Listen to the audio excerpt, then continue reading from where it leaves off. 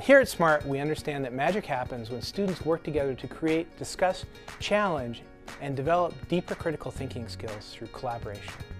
SmartAmp allows teachers and students to explore, co-create content, while teachers can see real time how students are contributing and learning. There's nothing else like it out there. So let's see what SmartAmp's all about. We start off in a workspace, a huge open digital canvas that enables multiple contributors to work together simultaneously. This workspace is an open environment for student work, but when teachers want to review, they can take control, pass control, and save bookmarks for easy navigation. From there, it's easy to use content from YouTube, Khan Academy, Smart Notebook, or our great partners like Discovery Education and Houghton Mifflin Harcourt.